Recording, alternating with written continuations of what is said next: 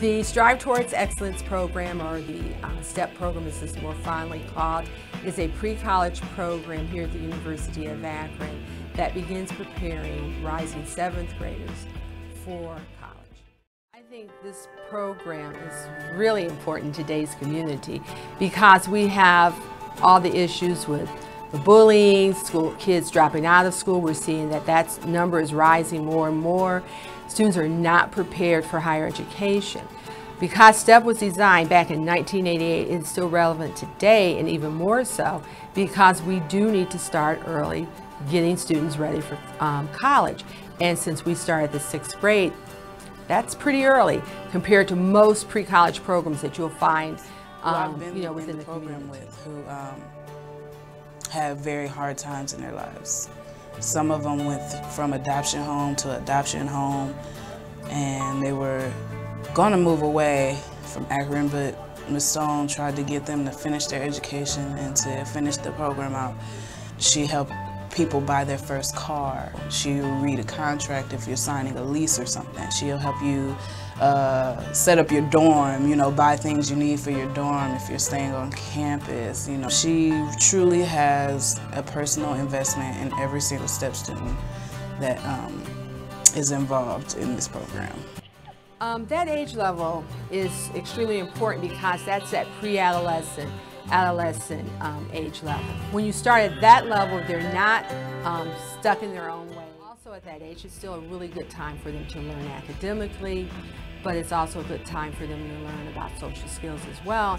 And STEP addresses both those sides. We don't just deal with the academic preparedness for a student for college, we also deal with the social, emotional, because as we all know, that college is more than just books uh, education is more than just how much you study or how many A's that you get because everything about a person goes into their success or failure. They work hard. They have classes all day. They take classes in English and math. They take a dance class through the Dance Institute here at the University of Akron. They take um, a karate class. They do swimming. They do drama. They do speech. And it's a wide variety on purpose by design because if you'll remember earlier in an interview, I spoke about that we not just look at their academics, but we also address their social and emotional, and we also do cultural. The dance that they take in the Dance Institute is dan it may be jazz and some form of ballet, something that the majority of our students would have never taken. And they moan and groan about it, by the way, initially. But by the time it's for a recital, the boys are pushing the girls away to get to that front line. And so it's a really good event. At the end of that six weeks, they then take a summer trip. And on that trip, it is to be educational, it's to be cultural, and it is to be fun. It is meant to expose them to all that's out there outside of Akron, Ohio.